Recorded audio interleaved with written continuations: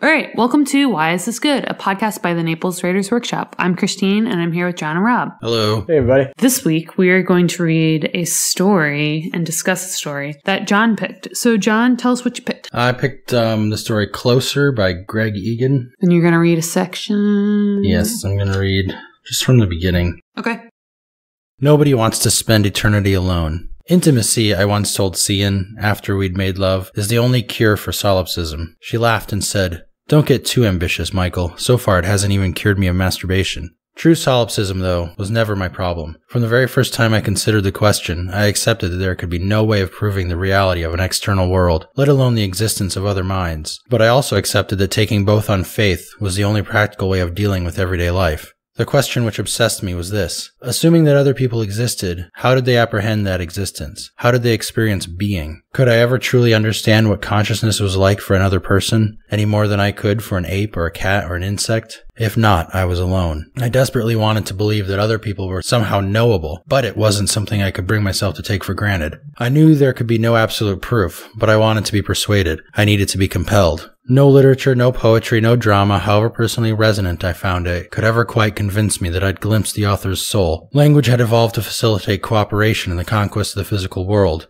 not to describe subjective reality. Love, anger, jealousy, resentment, grief, all were defined ultimately in terms of external circumstances and observable actions. When an image or metaphor rang true for me, it proved only that I shared with the author a set of definitions, a culturally sanctioned list of word associations. After all, many publishers used computer programs, highly specialized but unsophisticated algorithms, without the remotest possibility of self-awareness, to routinely produce both literature and literary criticism, indistinguishable from the human product. Not just garbage either. On several occasions, I had been deeply affected by works which I'd later discovered had been cranked out by unthinking software. This didn't prove that human literature communicated nothing of the author's inner life, but it certainly made clear how much room there was for doubt. Unlike many of my friends, I had no qualms whatsoever when, at the age of 18, the time came for me to switch. My organic brain was removed and discarded, and control of my body handed over to my jewel, the Ndoli device, a neural net computer implanted shortly after birth, which had since learned to imitate my brain, down to the level of individual neurons. I had no qualms, not because I was at all convinced that the jewel and the brain experienced consciousness identically, but because from an early age I'd identified myself solely with the jewel. My brain was a kind of bootstrap device, nothing more, and to mourn its loss would have been as absurd as mourning my emergence from some primitive stage of embryological neural development. Switching was simply what humans did now, an established part of the life cycle, even if it was mediated by our culture and not by our genes. So, why did you pick this? Um, I read it in a class a while ago, and uh, a really terrible class, by the way. And um, I it just stuck with me, and uh, I don't know. In an effort to bring more science fiction into this podcast, I thought of this story. Well, you're doing a good job because you haven't picked something that I wouldn't read. It's not that I don't like sci fi, it's just if you told me to pick a plot, I probably wouldn't pick AI or something, you know? But everything that you pick obviously is literary. That's what I like. But what do you like about this story? Oh, this one, it's, it, I like this one because it, it does what a lot of excellent science fiction does is it wrestles with an idea and it dramatizes the uh, possible approaches to that idea. We start with a philosophical problem and then we dramatize a character kind of figuring that out. It's usually not so overt as I was worried that about the consequences of solipsism. so, but you know, th- this is what science fiction does. I kind of read that as that was like he was being economical. He's like, this is a short story. This is what it's about. Yeah. Yeah. Yeah. I mean, there's nothing wrong wrong with that. It's just, it was interesting. But yeah, and it's, it's, uh, it also, my PhD was in literature and cognitive science, and this deals with a lot of things about the mind. So I find, I just find that interesting in general. So Yeah, before I knew where it was going, I thought that maybe it was going to focus on the bit that you read, talking about literature. He, he was kind of comparing, like, an author writes this, but I don't really know what he thought when he wrote it. I just know what I think when I read it. I was like, oh man, this is John's jam right here. yeah, which, and as the story goes, and, um, that jewel, the Ndoli device, Yeah. Sets up the possibility for these people to like shift bodies and personalities a little bit. It really plays around with my favorite topic on this podcast. Apparently, it's point of view. Mhm, So mhm. that that's one thing that before I reread it, I was like, that story was interesting because it shifted point of view in the middle and um, became another character, all as a consequence of the story, which was really interesting. And so I was like, I'm going to suggest that one, and I'm going to reread it now. So Wow, wow, wow. Maybe the theme for the three of our stories is point of view, not sex. maybe, Rob's does it too. Mine has that collective we. yeah, Sounds like a winner, yeah. I liked the way that it introduced the whole concept of the sh- the what did he call it? The switch. the switch, the, the Yes. thing that happens when you're 18, the jewel is the object Yeah. and that takes over your brain. So this is the only thing I know to mention in science fiction, but it's like the world building concept and how expertly that's done. And I liked it here because I think it's easier in futuristic pieces where the kind of the point is that this could happen. So we're familiar with some of the predicaments of technology or the possibilities currently and what people are toying with. So it's like if you read a story about flying cars, that wouldn't, that would be sci-fi technically, but not so sci-fi that you couldn't understand it or like envision it somehow. So I like stories like this where it's like, this is maybe a hundred years in the future, or however many, but we're already kind of grappling with the idea of outliving our bodies and our consciousness remaining. I think he did a good job kind of not over explaining it, but kind of carrying you through. And that was a device right there where he's like, you know, the, the switch. And that's where you really launch into it. That's when you know it's like full on sci fi. Yeah. He's like, this is m- how my brain works, and this is what I can possibly do with it to solve this conundrum of mine, which is like superhuman. Like, everybody has this thought, I think, right? Like, how well can you really know someone if you aren't them? And then the part where he talks about, like, the only thing I'm sure of is, you know, myself. Isn't that the definition of what is it? Solipsism? I looked that Yeah. up because I was like, this sounds pretty key. But that's, I think what my takeaway was was that you can only like you can only know yourself truly, and everything else is you can't really assume that it's even real. So I like, like you said, good science fiction just illuminates like a common current issue or moral dilemma through a different worldview. Yeah, it's like a, a thought experiment. Daniel Daniel Dennett talks about thought experiments where you take the variables of it and you just crank them up in different directions. And I think fiction can do that. You know, just crank the variables as far as you can in one direction or the other, and and see what falls out. And that's what good science fiction does. Yeah. Yeah, What did you like about it, Rob? Um, I like that for a story that's concerned with intimacy. It's a particularly chilly ne- um, voice, which makes sense because it's it's you know is it a person? Isn't a person? It's sort of a person. It's sort of not. Once we get cooking in the story, so that that's kind of something nice just to chew on as you're reading it. You're saying this person's so obsessed with just connecting, connecting, but everything, of course, is so technical and kind of verbosely technical at times, where it's just where's the human feeling? And I didn't feel, and I I would think that this is uh, on the part of the writer. He seemed really. Um, I, this is someone who you believe who's telling you something. They're making stuff up, but it sounds good, and you buy it. And you're not sort of. I mean, even if you read crap, you don't think that wouldn't happen. You just kind of skim by and don't think of it. But with this, you're sort of enjoying it, and you're enjoying just the kind of mini universe he's constructed. But you, but with the, but with the intimacy, I thought there was kind of a whether or not it's an irony. It might even be a paradox where this guy's so concerned that I can't know anybody. I can't know anybody, and this separates me. But that kind of is what brings people together, of course, because we all share the same.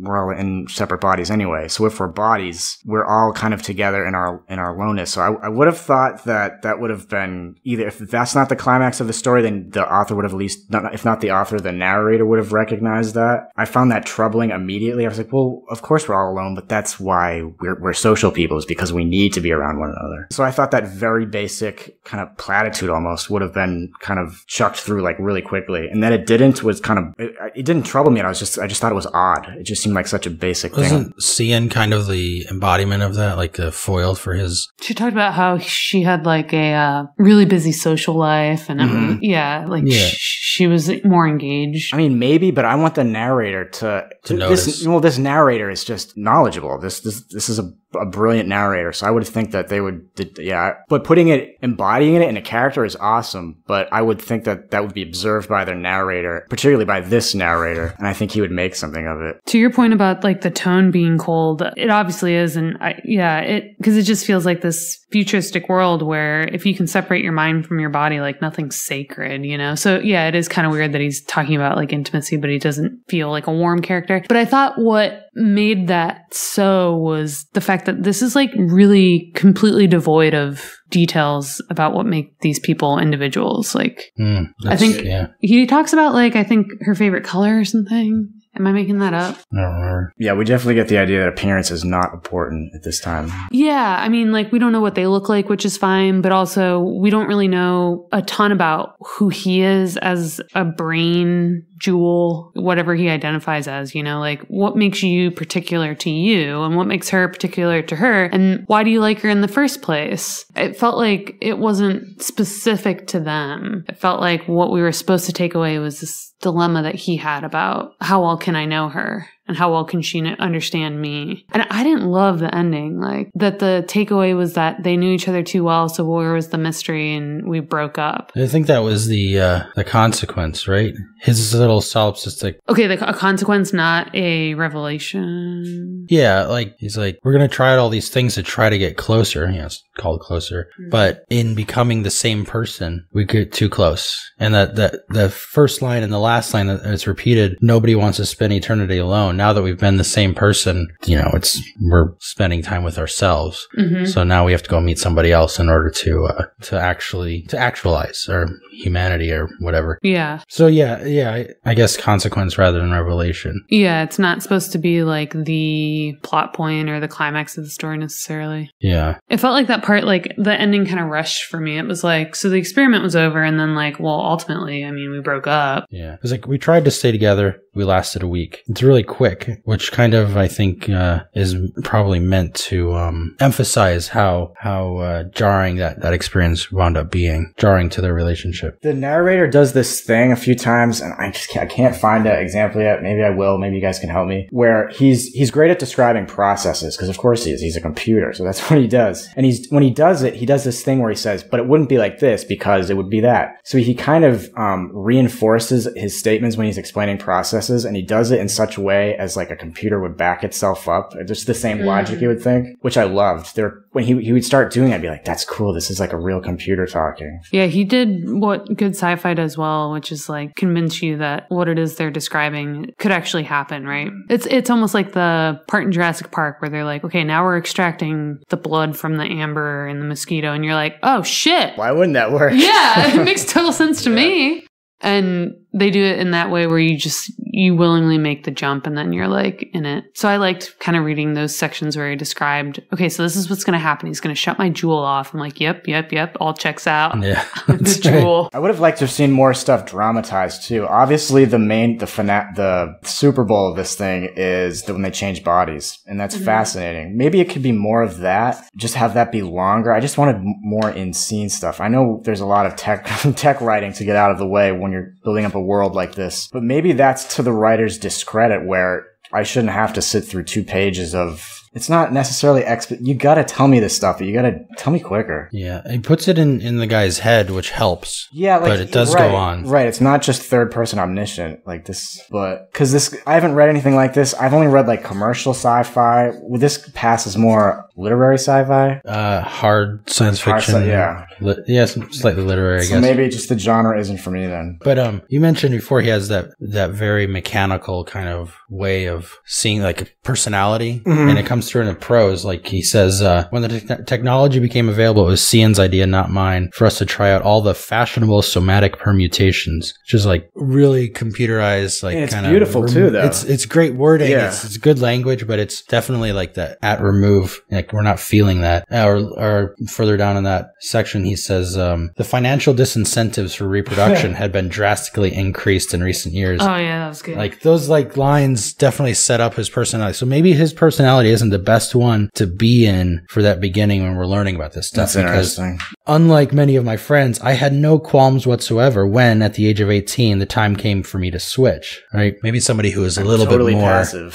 a little more fearful of it, we would feel it more. yeah, that's a yeah. That'd be interesting to have a scared narrator in this world telling the mm-hmm. story. It's like you're destroying my actual organic brain. Are, are you destroying me? Are you like what is this Yeah, jewel right. thing? I can hear Woody Allen's voice saying that. That's right. I thought maybe the part the the part of this premise that I was most interested in was when they were talking about actually switching bodies and he was kind of freaking out that that would mean that he was racking his brain for something he had done wrong or a secret he didn't want to share. That was the most interesting part for me because maybe we've all had a thought like this where it's like, I want to know my partner better. What is he thinking right now? Like, you want to know these things, but there's obviously a merit to being like your own private person. And I think what he kind of toyed with was less the idea of what the implications are for you as a couple, but like for you as an individual. Don't you want to have something private to yourself? That was like the most interesting part for me. I was like, no, there's something great about like the, the concept of alone time where you can have your own thoughts and nobody needs to know or predict them. And you can have your own fantasies. And I don't mean erotic fantasies, but you can play out your own ideas. And I thought, I thought that was going to be the landing point, And instead it was like the implication for them as, as a couple. I was like, oh, I don't think he'd be bored. I think it would more be like, well, nothing's mine anymore. Oh yeah, yeah, makes sense. He says at the end,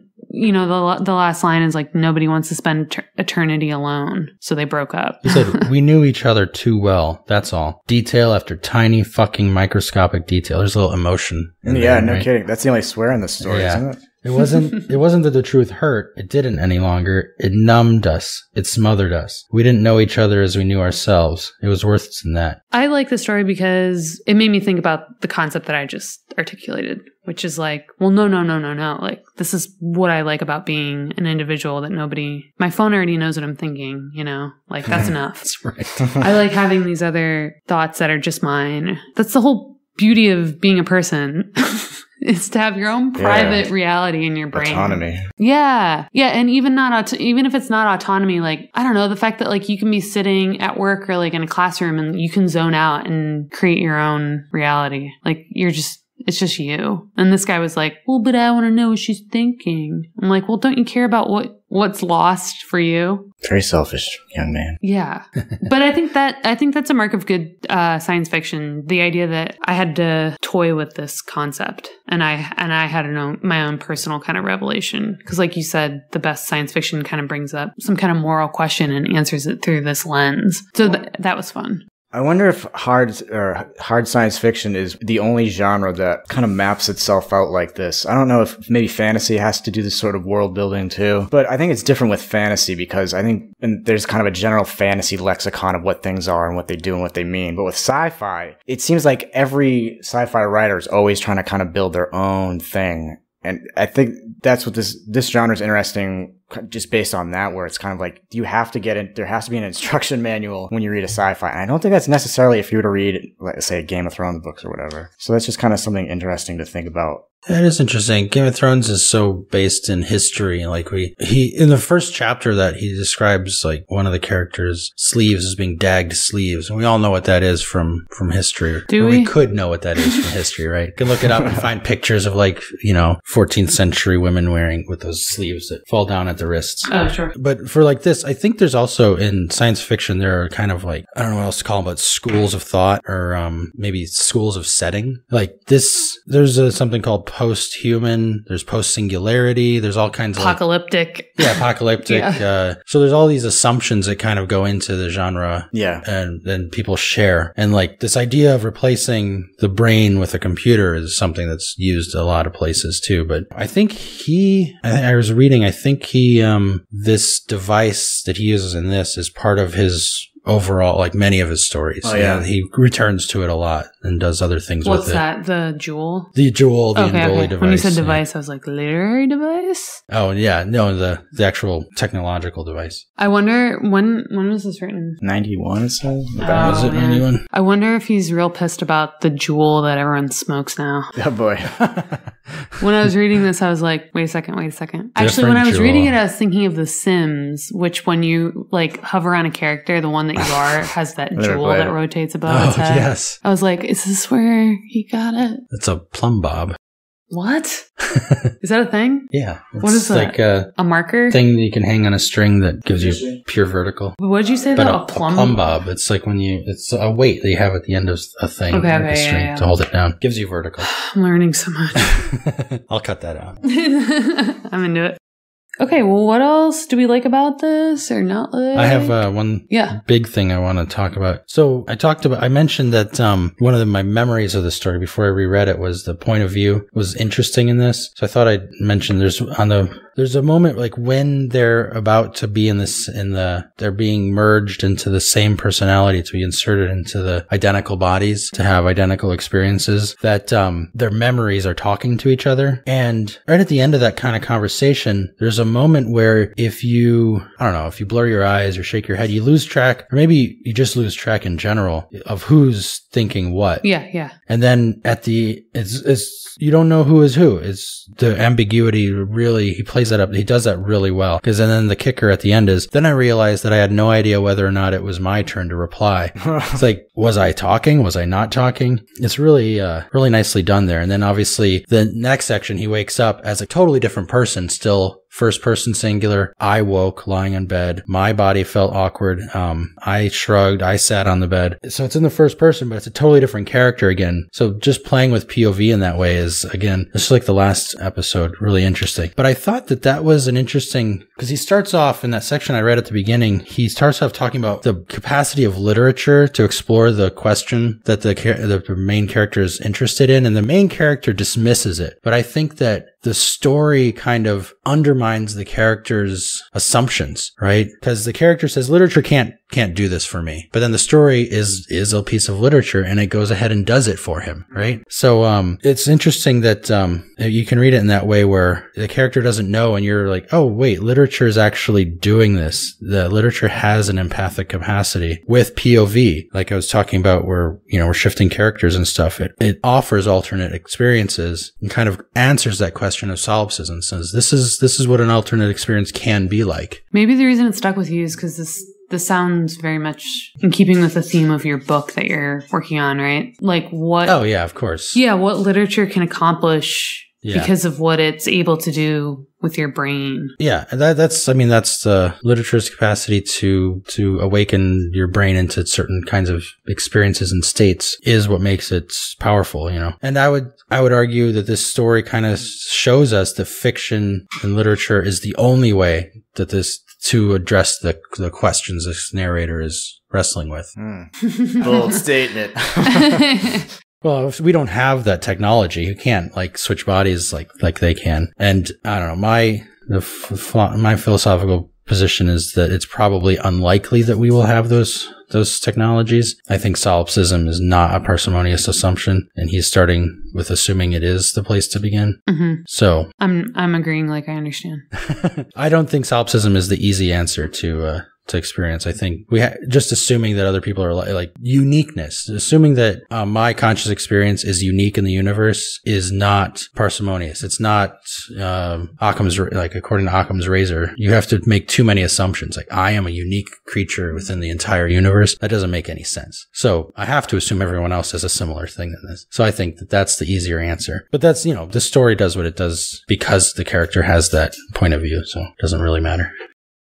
Well, what would you guys take away from it then? Like, what's something that we could mimic, or maybe John's going to chime in here again with a point of view to. Well, point of view, the thing I just said about literature are all things I can take away, but I guess the main thing is just using uh, science fiction or not even science fiction, but any story to kind of set up a problem like a philosophical issue and finding a way as a thought experiment to address it. It's an interesting um, way to kind of explore things. I think that's what stories do a lot of times. It's just more overt maybe in science fiction. hmm Yeah, that's that's really the only thing that I could think to take away as well is just like think of a potential like a, what feels like an imminent potential problem that we have and it they all lend themselves to sci-fi, right? Because they're all something that hasn't come yet to pass. You're going to have to imagine something. Like even something as spelled out as climate change, right? You still have to imagine the ending there and then you're basically writing sci-fi. Like the closest I've ever come to sci-fi was writing about like wildfires. But it didn't yeah, feel like a story. leap for me because wildfires are happening. It, but it was like I put a wildfire in Collier County, Florida that was worse than anything we'd ever seen. That's basically sci-fi. It's not really fiction at that point. Like you're you're toying with sci-fi. Like because I don't The larger genre of speculative fiction. yeah, right. I guess I guess when when I say sci-fi, it's just like, is this a potential like actual problem that could happen, and will you have to make it plausible in the sense that it has to has to be like scientific somehow? Like, Yeah, okay. like so. Rob was talking about world building, and I was thinking of um, Ben Bova, who's the sci-fi writer that lives here, and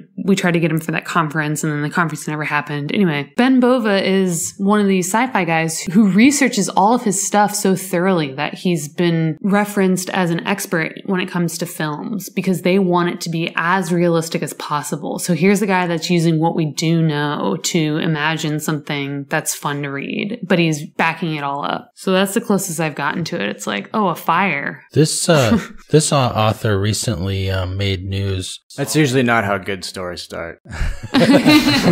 Made true. news is never good. non non literary news in solving a um a math problem about sur- super per- permutations. It's complicated and, ex- and whatever, but if you have a number of elements in a thing, you can arrange those elements in a certain number of ways. And a super pu- super permutation is the shortest list of elements that contains all the possible permutations of all those elements. And for number of elements equaling seven, he discovered like the shortest possible super super permutation and posted it on like YouTube or something. Huh. So he's a real nerd. Like, Yes, he's a real Yeah. nerd. His, his hard science fiction Oh, we can tell. is yeah, yeah. He he he does it because he's a, a science guy and math guy. that's kind of cool. Yeah, this sort of read to me like someone who's not literary. And I don't mean that as a slight, but this person is coming to this with a science background. It's Yeah. clear. I mean, this, it's clear as day once once you get into like the third or fourth paragraph. That's yeah. When we talk about like hard science fiction, it's like s- sometimes I don't enjoy the stuff where the biggest takeaway is supposed to be like how complex or original the plot is, because I feel like those are less about you know the literary experience and more about like the. It's almost like how fan fiction is not very good, but it it always introduces like an interesting concept or riffs on a very interesting concept and so it's like if you want more of vampires doing this thing you can read all about it and your brain goes wild kind of after the fact you're not necessarily enjoying the way it's written but you're like enjoying where your imagination takes you Yeah, yeah, yeah, yeah, yeah. That makes sense. what, what's your takeaway rob I like seeing an, an author speak with authority about kind of not just their subject, but kind of like how their subject works. As I said earlier, when he's talking about how his various gadgets work, he he doubles back and he gives an explanation as to why things wouldn't work this way or why this is the correct reason. And that's just kind of sound argument making. You present your argument, you say why it works, why it wouldn't not why it wouldn't not work in a particular situation. I, I think that's cool, and you don't have to do that exact same thing in in your own stories, but to apply that logic to think about okay, why is my character doing this? How can I reinforce to the reader that I know what I'm talking about? And it could be something as simple as just you're you're a badass and you have a great voice and it just takes care of itself. But if you're someone like this who is not, I don't think this is a born badass. I think this is someone who comes from science. He wants to write. and He writes really well. But you do it by just kind of building your argument. And I think he does a nice job all over the place doing that. Yeah, that's a little bit of that show and tell. You know, the difference between showing that a character wouldn't do something versus just telling us he would never have done that, Mm-hmm. and then moving on. Yeah. Like he stood at the edge of the canyon and didn't jump in, or not a canyon, like uh, uh, what do you call this? Where they're excavating rock and stuff, and it's filled with water. a hole Corey. Quarry, standing on the edge of the quarry, where he's standing on the edge of the quarry, and like his friends are like, "Could you jump in?" oh, And, uh, oh. Why wouldn't he? You could just tell us he wouldn't do that. But I think it's showing us why. And a lot of times, uh, a good writer, or not a good writer, uh, some writers will tell us and then show us. Like Jimmy would never jump into a quarry. Um, and then you give a flashback or you give some scene that shows us that he's not like yeah. that. Jimmy thinks he has wings. Jimmy has issues. That's right. don't be like jimmy Another thing I would take away from this is that uh, even when the workshop makes fun of my vocabulary, I can still sell a story with vocabulary in it. yeah I mean- that workshop. That's right. i always look it up i just don't know it all right thanks guys